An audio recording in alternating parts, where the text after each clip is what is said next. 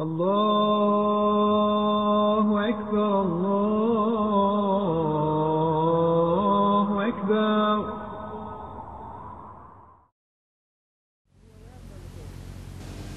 I was born in India, in a village, in, on the 1st of July, 1918. In August 1927, I Durban, South Africa.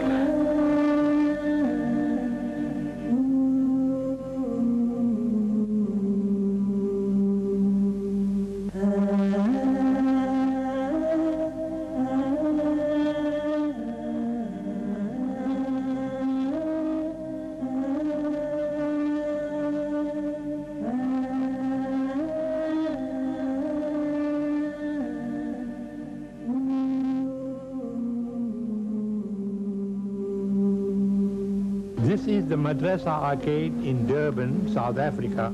The curious narrow alleyways of the Madrasa Arcade are familiar to Yaqub Mahtar. Over 50 years ago, he and his young friend Ahmed would wander through the marketplace on their way to the tailor shop of Ahmed's father, Hussein Deedat. And this is the shop of Mr. Deedat, Mr. Deedat Senior. Nine-year-old Ahmed Deedat moved to Durban in 1927 to join his father Hussein, who had settled there a few years earlier. Ahmed's voyage to South Africa had been long and difficult. In fact, he almost never made it to the streets of Durban. Much of the money went to pay for the rent of their small apartment in Ismail building next to one of the oldest mosques in Durban. One of Ahmed's neighbors in the building, Ahmed Suleiman Bailim, would eventually become one of his lifelong supporters. Uh, this is the building, and on the right you see this apartment here. Ahmed Deedat and his family stayed, and I used to be his neighbor. Next one, which is in apartment number two. You are very close. So we're very close. In fact, nice people, but the family was very poor people. Ahmed enrolled at the Anjuman school, where he was in Standard 4. It was the first time he had seen the letters ABC and heard the words yes and no. In six months' time, however, he had learned English and became the top of his class. He was promoted to the next standard, where he also excelled academically. Every day he walked to school and back home because his father couldn't afford the bus fare of two pennies. He later moved on to Sastry College, a respectable school built by an Indian immigrant to South Africa. Ahmed showed up for the first day of his new school in his clean new uniform, ready to hit the books. But this is where Ahmed Deedat's education came to an abrupt end. He must have spent only a few hours walking these corridors because after only three days at college, his father pulled him out. Financial considerations put an abrupt end to him furthering his education. Ahmed's mission was outside Durban in the rolling hills of rural South Africa. Ahmed took a job in a country store called the O.N. Mohammed Shop.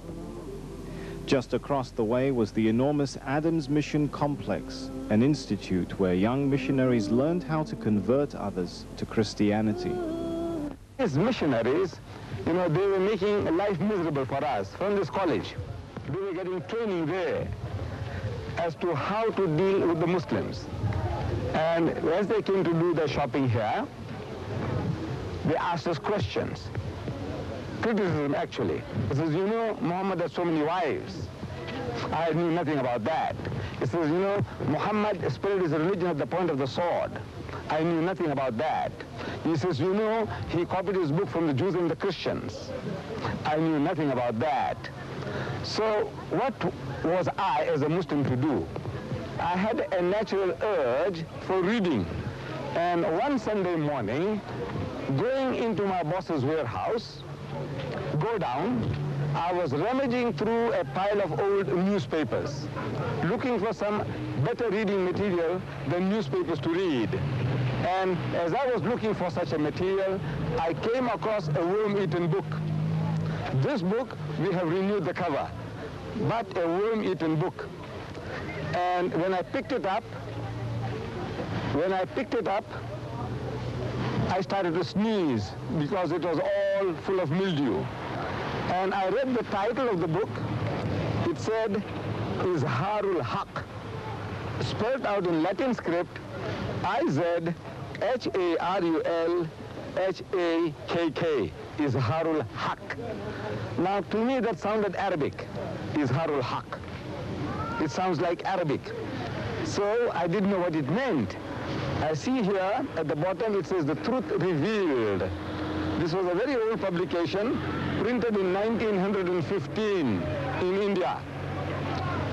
Two years older than myself. I was born in 18, this is three years older than myself. Now this book actually changed my life. Ahmed Deedat now had his armor. His shield would be his extensive knowledge of the Bible and Quran, and his sword would be his frank, piercing style of delivery. In 1940, he took to the stage and began giving lectures to small audiences, the first of which was Muhammad, the Messenger of Peace. I made appointments with them to go to their homes on Sundays after church, the church, and talking to them, talking to them. And I talked myself into talking until I came to Durban, reside in Durban. I found a job in Durban. And in Durban, around the 50s, an opening took place. This is also Allah's Musabbib al-Asbab. We had a very charismatic speaker coming from overseas. And this speaker, very unusual, for a Sunday morning, he used to get two to two, three hundred people every Sunday morning. And the crowd was increasing continuously. And I used to attend this talk of his, very fascinating. At the end of the talk, question and answers, and when everything was over, after a few months, a revert to Islam, an Englishman who had become Muslim, by the name of Mr. Fairfax. This Mr. Fairfax, he suggested this, look, any of you, if you are interested, I am prepared to teach you people comparative religion. But he called it Bible class. He said, I will teach you the Bible, how to use the Bible in propagating Islam. So he said, very good. So uh, out of these two to three hundred audience every Sunday morning that this other gentleman drew, about 15 to 20 opted to remain for a second injection. And this Mr. Fairfax began teaching us that look in the book of Daniel's there are certain prophecies and how to use those prophecies. In the book of Deuteronomy, in the Bible, there are certain prophecies regarding the coming of our Nabi Kareem Sallallahu Alaihi Wasallam and how we can exploit them, how we can expound them. So this thing carried on for a few more weeks or a couple of months and then Mr. Fairfax was absent. And I could see the disappointment on the faces of these young people. We were all young then, uh, 15 to 20 of us. We're looking at each other's faces, disappointed, and we break up. The following Sunday again, we look at each other's faces. Where is Mr. Fairfax? No news. And we break up. The third Sunday, I suggested to them, to the, those people who were enthusiastic about having a, second inning, I said, look, if you like, I can carry on where Mr. Fairfax left off because I had the knowledge that I was sitting in to give this person my moral support. Myself and my secretary, who has just passed away, Mr. G.H. Vanker. Now, we were both knowledgeable as far as the Bible was concerned. But we would give them our moral support, we would sit there and with the rest. Now I said, look, if you like, I will give you I will carry on from where Mr. Fairfax left off. And if you get bored, tired, fed up, just yawn. And there will be notice enough for me to stop. And for three years, I continued talking to them and I discovered now that that was my best way of learning because there is no better way to learn than to teach. As our Nabi Kareem sallallahu alaihi wasallam he said, "Ballighu anni walau ayah." Deliver the message regarding me, even if it is one verse. That's a secret. If you have one verse and if you share and you share and you share, then Allah fills you up with more. I didn't know that then, but I can now realize what was happening. Teaching them, teaching them. Then I had some visitors. Visitors, visitors to come along. There were some visitors coming from Johannesburg, and they stayed in for my class. And they felt that they can exploit my talents. So they said, look, we are having a birthday celebration of the Holy Prophet Muhammad wasallam in the City Hall of Johannesburg, and we would like you to come and speak to us. So I said, I'm a working class man, I can't afford these trips, but if you give me an air ticket, I will come. So they gave me an air return air ticket, and for the first time in my life, I traveled by air to reach Johannesburg and deliver the lecture. Now that gave me an idea. But if I can lecture in the City Hall of Johannesburg, what is wrong with the City Hall of Durban? So we organized a lecture here in the City Hall of Durban. And it, it was in 1958, December 1958. As a result of that, two Caucasians, white people, Europeans, they started visiting our offices in Madrasa Arcade. And subsequently, uh, twice a certain type of conversion took place that we converted to those two white gentlemen who were coming to my office. We converted them in the West Street Mosque here in Durban, and then another two within a week, an Indian and, and uh, a European again in the Juma Masjid, Durban. So there was somebody watching. Allah watches all times. But there was somebody else who was witnessing uh, our work. An elderly gentleman by the name of Haji S.I. Kadwa. So after the second conversion of people in the Juma Masjid, the man, while he's tying his shoelaces, I'm also on the same bench tying my shoelaces, he's telling me that he had observed my work, what I had been doing, and he likes it very much. And he said, look, I've got 75 acres of land at a place called Braemar in Natal, about 55 miles outside Durban, and I'm prepared to give it to you. So I said, I accept. He said, no, not so fast. You must first have a look at the place. I said, what is there to look? So he said, no, no. You must first have a look. I was thinking that if there are 50 acres of rocks, I will still have 25 acres of good land. If there are 25 acres of rocks, I'll have 50 acres of good land. And Natal is a garden colony. This colony is called a garden colony with all its greenery and beauty and natural other qualities about it. So he said, no, you must have a look. So I, with the, our trustees, we, I went down and I saw the land and I accepted it and I started establishing an institution called As-Salam, where I could train Muslim missionaries. It is functioning at the moment. Ahmed and his family uprooted from Durban and moved 80 kilometers south to the uninhabited hills surrounding As-Salam. He had to chop down trees just to reach the land.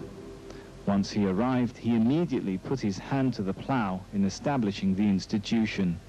But Ahmed was devoted to spreading Islam in the best way he knew how, by speaking.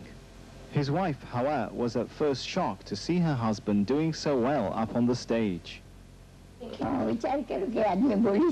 I thought, can this man talk? But his talks gained in popularity until eventually he found himself here at the town hall in Durban. He now had a full house of around 2,000 people. Deedat's lectures here were some of the few events in which segregation briefly disappeared. His message was that there were many contradictions in the Christian Bible and doctrine, and that Muhammad was indeed a noble messenger sent by God. Ahmed's preaching began to take over his life. He moved to apartment number 45 Hussein building, where he put in countless hours of planning as well as budgeting. We had been doing a certain type of work in that we were using the Juma Masjid Durban for attracting visitors. So we started advertising the Juma Masjid Durban in the Durban Corporation brochure, they give out to visitors, tourists, we saying that visit the largest mosque in the southern hemisphere. For a free guided tour, phone 27054. That was a very old, old number. And people used to phone and they used to come. Because generally to the tourist, they didn't know the difference between a mosque and a temple. To them now, these are synonymous terms. So they came and we, expl we explained to them what goes on, we gave them free literature, and this was one of our major works that we were doing, giving out literature and explaining Islam. If I were to tell you, you said, look, what is the name of the God that you worship? And if I said Muhammad, for example, if I said Muhammad, immediately you think of a camel driver born in Mecca some 600 years after Jesus, right? And if you know his history, so yes, his father's name was Abdullah, his mother's name was Amina, and he was born in Makkah, he died in Medina, he's buried there. So you have a mental picture. So as soon as you have a mental picture, it's rejected in Islam. You can't have any name which creates a mental picture. We Muslims, we say that call God Almighty by any name. Call him by any name, as long as that name is not contaminated. And holding lecture meetings throughout the country on different topics where we can enthuse the Muslim with regards to propagation. So strengthen them against the Christian missionary activity and put them in a, in a position that they can talk back and explain Islam. Meanwhile, his popularity was growing nationwide. He was invited to Cape Town, where he received an overwhelming response. In Cape Town, he lectured in huge lecture halls, including the Good Hope Center and City Hall. To them, Ahmed Deedat was a knight in shining armor who had come to liberate them from the pressures of hardline missionaries and the idea that Islam was not a credible religion. Along with his momentum came the demand for a professional organization which could manage the size of planning and the money he needed to continue. And so in 1957, Ahmed Deedat, alongside two of his closest friends, founded the Islamic Propagation Center in Durban. The organization's first base was a tiny one-room office in the Madrasa arcade. The three founders started recruiting staff, one of whom was a secretary by the name of Muhammad Khan. So he said, join me. Join us, Mr. Vanker and Mr. Dida said, they wanted to typist. I'm a type typist. After London, he was swept up in a whirlwind of tours. Crucified. This liberated Palestinian, now a citizen of the United States, well-spoken and immaculately dressed, was easily mistaken for a Pakistani. Now listen to his well-articulated English and still more eloquent Arabic at question time and Mr. Deedat's reply. I would like to say that I'm grateful for this opportunity and my questions are actually two. Number one, if the Quran is indeed from God, does it contradict itself in as much as it says, okay. Mm-hmm. Therefore, Jesus was born, he died, and he rose again. The second question. Mr. Vidat. Thank you. The verse in question is والسلام علي يوم ولدت ويوم أموت ويوم أبعث حيا which translated means so peace is on me the day that I was born, the day that I die, and the day that I shall be raised to life again. The day that I die, it is not the day that I died. It's not died, it's in the future. Mr. Deedat, we have invited you to our Christian nation to debate the topic, is the Bible the Word of God? Will you now show the courage to invite Reverend Swaggart to debate you once again on the same topic in the city of Mecca? And if not, why? Mecca. You see, if the questioner had asked, are you prepared to debate Brother Swaggart in the United States in the different cities? I said, I'm prepared now to offer $10,000 for each meeting in places like the Madison Square Garden, in New York, venues of that kind, $10,000 per meeting, four meetings in the United States, $40,000. But the questioner is asking whether I would be prepared to invite him to Mecca. Now, I don't rule Mecca, number one. Number two, if you want to get into Mecca, you need a visa. There is a condition attached to you visiting Mecca. And that condition is that you declare with your lips La ilaha illallah Muhammadur Rasulullah.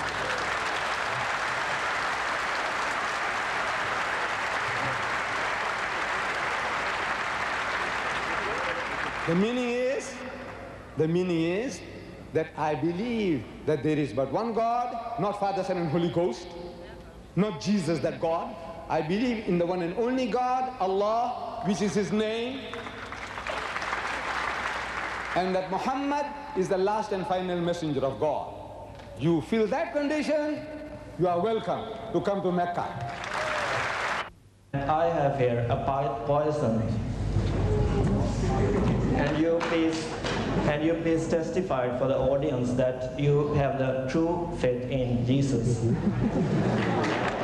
really telling you what I'm going to do. I, I'm shaking a little bit. Excuse me. But listen now. You see, you asked me if I believe in Jesus. And I want to tell you, I believe in Jesus as it is written in the Gospels. I don't believe in Jesus as it is written in the Quran. I'm asking him, I'm asking him, if you want to kill me, I must have five minutes more. I'm grateful to God Almighty for sparing this old machine to be able to come across the Indian Ocean into a country which my people call down under. That's, I know, that's what you said, down under, the country down under. You know, on the globe of the world, you say this is the country which is down under. So I, I don't know how you people manage to remain here, I don't know. In Europe, they used to say, see Venus and die. Meaning, that's the acme, the greatest thing that you can see is Venus. You know, the city on the waters, the waterways. It's Venice. In Italy, I think it is. Venice. Venice. So see Venice and die. Now I can go back to my country and tell my people, see Sydney and die. No, no. We started with advertising the Quran in our local New Sunday newspapers, one called the Sunday Tribune. We advertise Quranic verses under the heading, The Quran Speaks. A message from the Quran, and giving our name and address that further inquiries can be made, and for, for free literature they can write. then the same thing we started doing for the African people in the Zulu language newspaper called Ilanga Lasi Natal, means the son of Natal in which we had Ikuran Yakuluma, which means what the Quran says. And again, the same technique, verses from the Quran translated into Zulu and offering people free information and, and, and uh, literature. In buildings, you'll find the sign saying, read Al-Quran, the Last Testament. Read Al-Quran, the Last Testament. During the day, the sign is there, and at night, it flashes, you know, the color. So in other words, attracting people's attention. We have so far handled this office of mine some 85,000 Holy Quran translations, Arabic text, translation and commentary, which we have been selling, and what returns we get gets plowed back into propagation. I want to help the people in Sri Lanka and in India, Pakistan, in the UK. We want to do this that the Quran is made available. We are reproducing videotapes of our lectures, mostly on comparative basis. Like this particular one, it says Muhammad sallallahu alaihi wasallam in the Bible in resp response to Swaggart. Whole world is crying for these tapes because it's something novel to them. It's, it's really a novel thing because they have heard lectures about only addressing Muslims, how to make salat, we must give zakat, we must not drink, we must not gamble, you know, we must be attired Islamically and all that. They have been listening to that continuously for centuries now, for decades. But now comes along something novel in, in a, more especially people in a Western environment, like in the United States or in any other country where Muslims are, where the Christian missionaries are making onslaughts, like in India and in Pakistan and in Bangladesh and in Indonesia, wherever the Muslims are, we find that they are under attack and they don't know how to respond. They don't know how to respond to these Christian missionaries. So our tapes are doing the job. So there is a demand all over the world, so the department is expanding and increasing. So we have now exploited the machines, these electronic wizards, by creating what we call Islamic telecoms. We have two uh, in Durban at the present moment. One in our own building here, two of our shops, you know, we took them over, shops in the building, and we changed them into Islamic telecoms. What happens there is that in the window, we have a monitor that at least 16 hours a day, our programs are being played, passers-by are being attracted. Then inside, we have seating accommodation that the people can come and sit inside, watch the monitor inside in comfort. We have now started training da'is, people who can go and propagate Islam. Because the Muslims all over the world, where I go and lecture, they seem to have taken a liking to my approach. Because something that was lacking in that the Muslim didn't know how to approach the non-Muslim, the Jews, the Christians, the Hindus, and I'm showing them how it can be done. To me, it's just a very natural thing to do, which Allah Ta'ala gives us a secret in the Holy Quran when He says, Qul, tell them, Ya Ahl al-Kitab, O people of the book, O Jews and Christians, ta'alaw, come. kalimatin sawa'in bainana wa bainakum that we come to common terms as between us and you. Let us get onto a common platform. Some understanding us about basics. And then allah Ta'ala tells us what to talk about but now we have not been doing that because we don't know how. Allah is telling you on a common platform, talk about this. Allah na'budu illallah wa la nushrika bihi shay'an wa la yattakhidha ba'duna ba'dan arbaba min dunillah. The most memorable visitors here was the head of a Catholic church body, Mr. Dawood Ngwane. I was looking for a particular book in my son's bedroom. There's a pile of old books in my son's bedroom. I was looking for a book that I wanted to use. And um, while looking for this little, this book, I found this little booklet. And the, the, the, the, uh, the title attracted my attention, Crucifixion or Cruci-fiction. I thought, what, is, what does it mean? So that day I read the booklet three times. I tell you that I couldn't put the book down during my supper time. That day, Mr. Ngwane's world was turned upside down. At the age of 63, he began a new life as a Muslim but he was never able to have another conversation with Ahmed Deedat at the IPCI. The vibrant, dynamic orator was violently catapulted into a body which no longer worked. He suffered a stroke which left him completely paralyzed from the neck down. Unfortunately, most Providence would have it, on the 3rd of May 1996, Sheikh Ahmad Deedat was struck by stroke whilst on duty and became incapacitated, being unable to move any limbs, unable to speak, and unable to eat.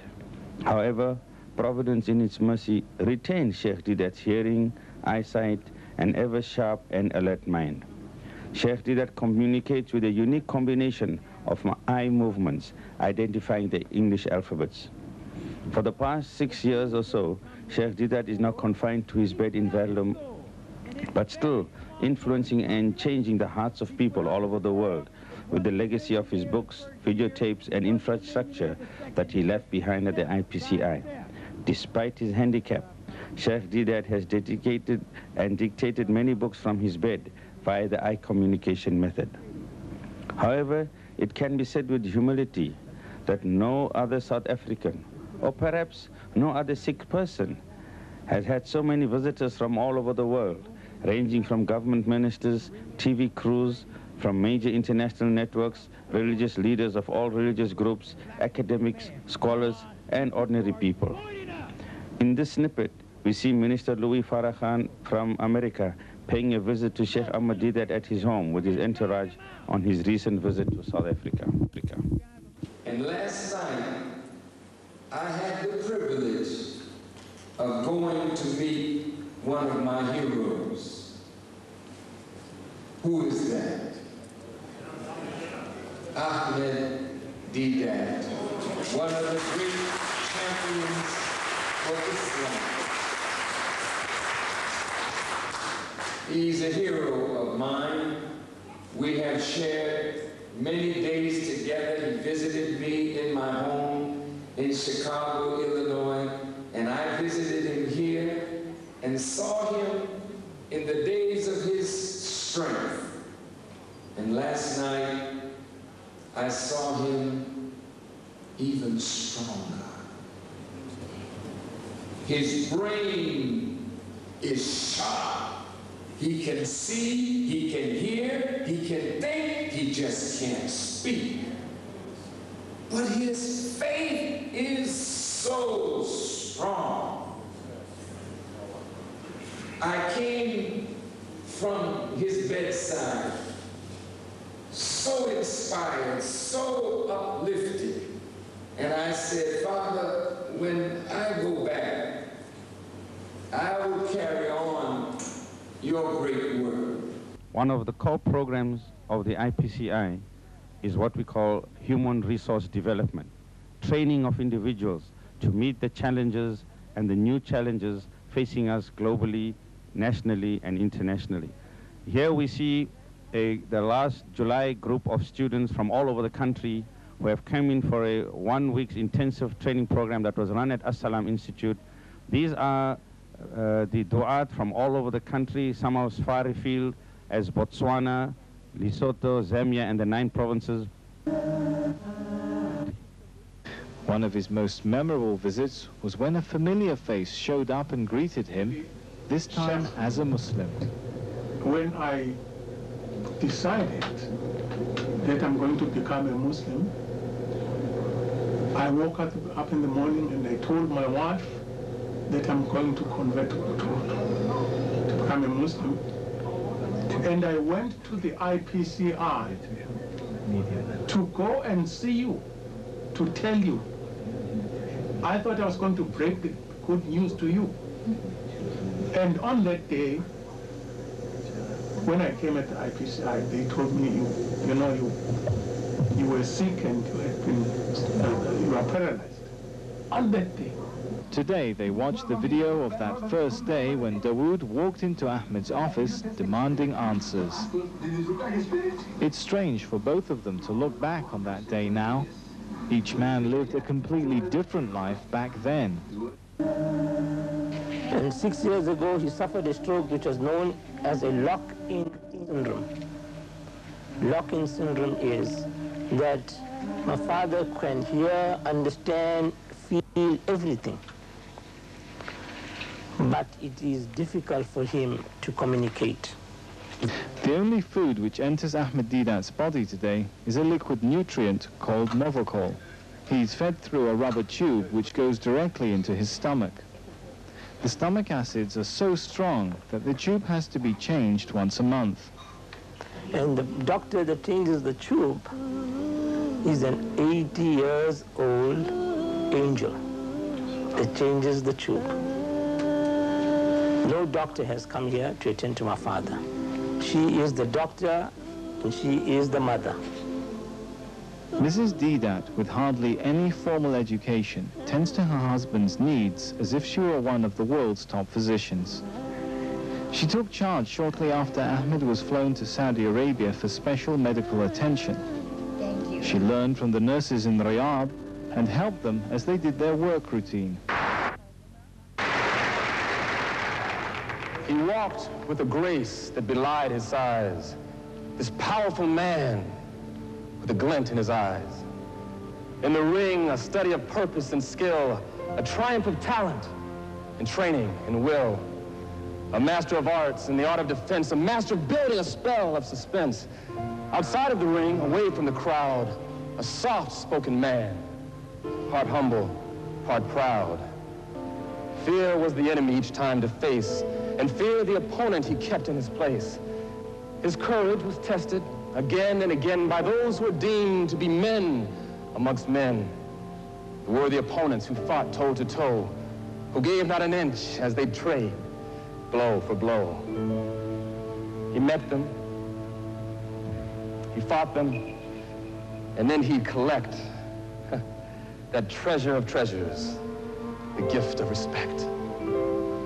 The word and the deed soon became intertwined, the mouth and the, the fist, the body and the mind, the legend and fact, the image, the truth, the wisdom of age and the sparkle of youth were spread on a canvas for all to behold. The power of steel neath the glitter of gold. Champion! Thank Allah. Thank God.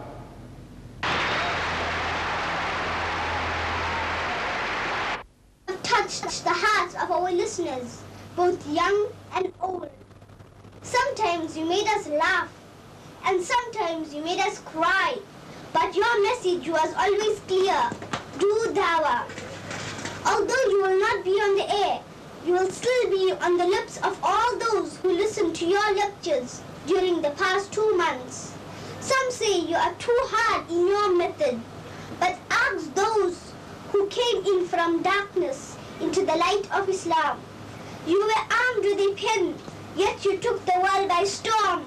You gained, you gained the respect of the Middle East, and you earned your heavyweight crown when you took on America's giant, Jimmy Swaggart. You were the king of the stage, the best of the best. And then Allah subhanahu wa ta'ala said, Enough, Mustadi Dad. You have done your best.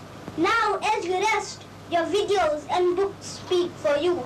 We salute you, Sheikh Didat. We honor you, Sheikh Didat. We love you, Sheikh Didat. Jazakallah. يا شيخي يا إمامي شيخ الإسلام أحمد ديدات فإنك خير الناس أنت لإعلاء دين الله أنت المناجز وإنك أسخى الناس أشجع فارس. لما دان من قد كان قبل يبارز. قسمت يا شيخ الإسلام أحمد ديدات.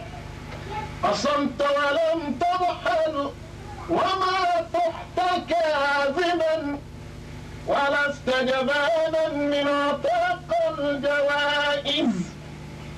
وهذا عبيد أحمد تيجاني بن عمر. وهذا عبيد قد أتى متكففا على أنه الحب بالحب فائز يروم منالا قد تكاثر دونه. فهول مدونا غروى إذ هو جائز. عليك صلاة الله. عليك صلاة الله. عليك صلاة الله أحمد ديدات عليك صلاة الله ثم سلامه. وعلى أحبابك على الدين بارزوا الله الله الله. عباد الله اذكروا رجال الله انشروا دين الله واعملوا لله واشكروا لله. بشراكم في الأيام بشراكم في الجنان. يا شيخ أحمد ديدات حافظ كتاب الله محيي دين الله. يا مواطن الأبي يا مؤمن التقي يا مؤسس القوي. بشراك في الأيام بشراك في الجنان. شيخ أحمد ديدات بشراك في الأيام بشراك في الجنان. الفاتحة والصلاة على النبي. بسم الله الرحمن الرحيم. الحمد لله رب العالمين.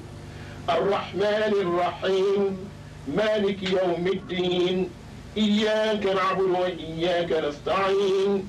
اهدنا الصراط المستقيم صراط الذين أنعمت عليهم غير المغضوب عليهم ولا الضالين.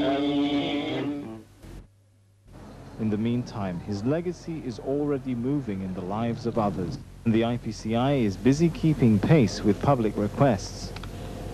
It receives scores of phone calls, letters, emails and faxes each day. Uh, we are so well known here that even if the people don't write our address, they just write Sheikh Ahmad Deedat Durban or IPCI Durban, it has to reach us. The current trustees of IPCI are Mr. Ahmed Said Mullah, who is the Amir, Mr. Tahir Sitoto, an academic at Natal University, Mr. Yusuf Ali, Dr. Khatija Molloy, who is an academic at Rao uh, uh, University, Mr. Ibrahim Jadwat, Mr. Dawood Ngwane, the attorney, Dr. Muhammad Khan, Mr. Harun Kala, Mr. Akhtar Token, and Mr. Anwar Belem. Direct, the director of the IPCI is Mr. Rafiq Hassan. The new trustees over the past six years have indeed kept the legacy of its founder, Sheikh Ahmed Deedat, alive and have also unanimously voted him as patron of IPCI for life. However, many sweeping changes, politically and otherwise, have taken place both in South Africa and globally, changes that brought into play new scenarios and new demographics. The IPCI had to meet these new challenges. One of its intervention measures was to bring in international guest speakers. Over the past few years, the IPCI brought the following dynamic personalities to our shores. Dr. Ali Musa from America, a previous drug lord turned social reformer. Dr. Khalid Al-Mansour, an academic from America. Dr. Deborah Mubashir, a former Baptist minister from America. Mr. John Yahya Kaysen, also from America, father of the boxer Hashim Rahman. Our current MC, Dr. Don Mattera, is our own international personality in his own right, who ran a workshop on African Renaissance. Then came September 11th, which changed again, in a very profound way, the world we live in.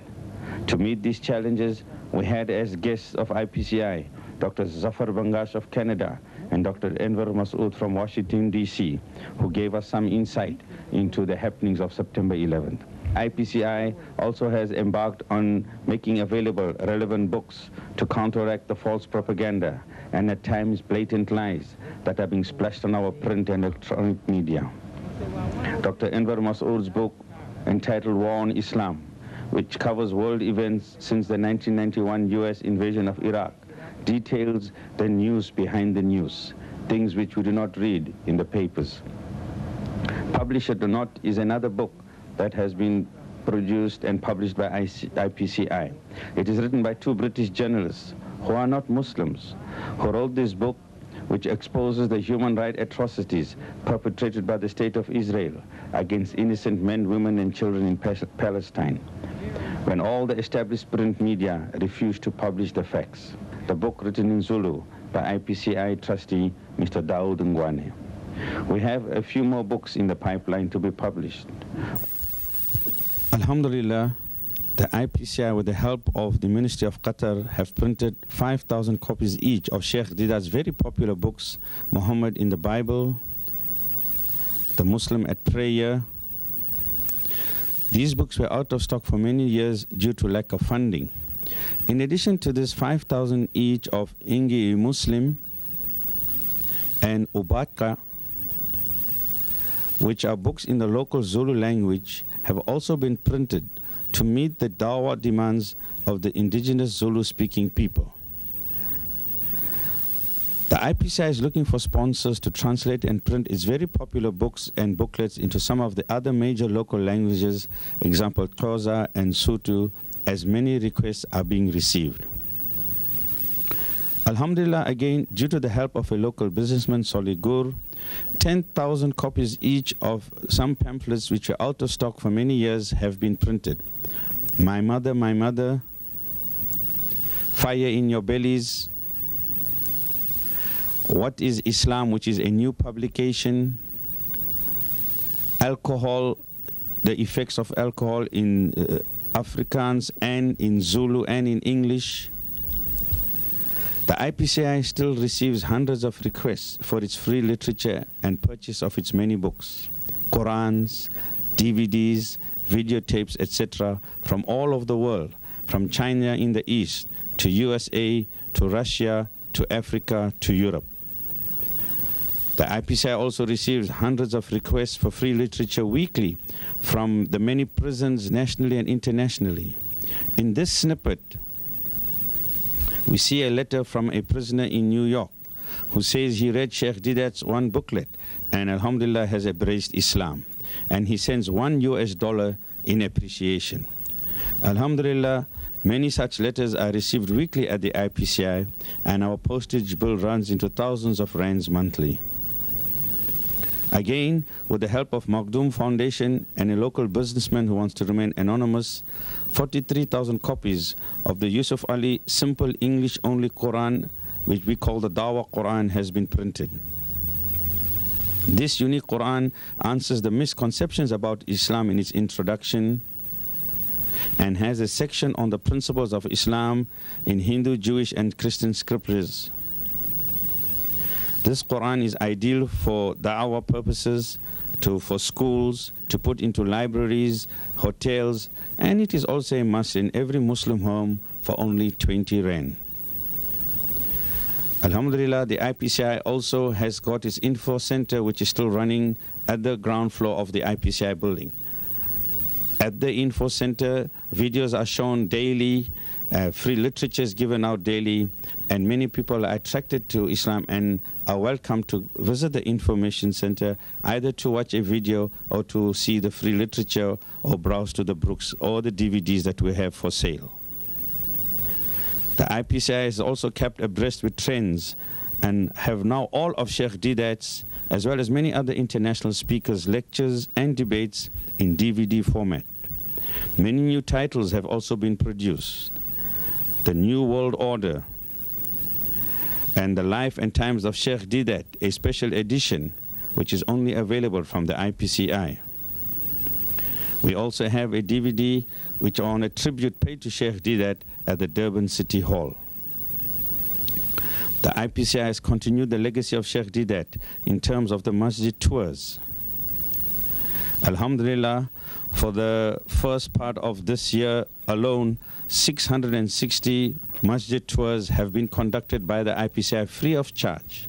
Durban, being a popular international tourist destination, attracts many visitors from all over the world, and the IPCI is listed on the uh, tourism board's listing for guided tours of the Juma Masjid, which is the largest mosque in the southern hemisphere.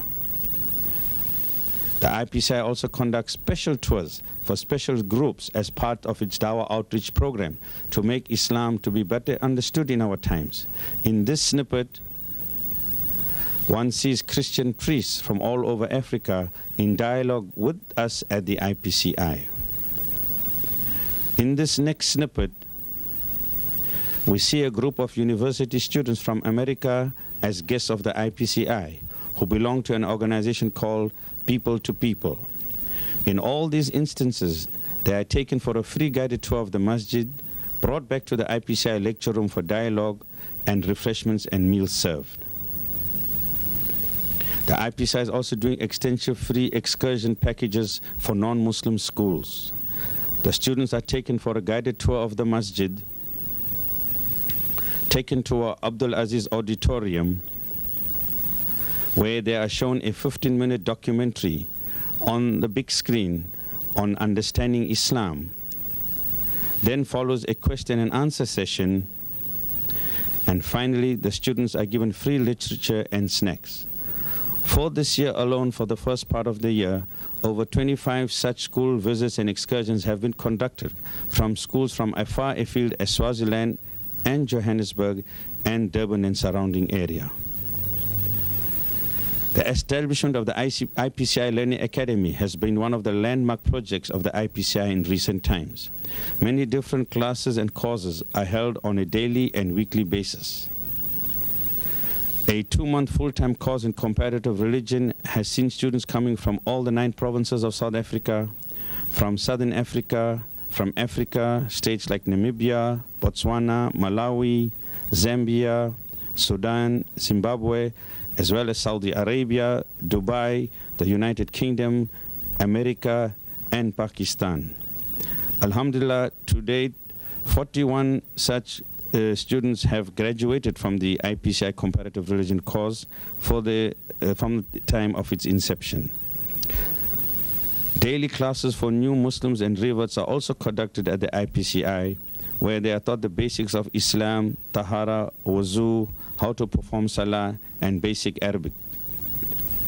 To integrate the new Muslims, a revert forum has also been established at the IPCI for the first time.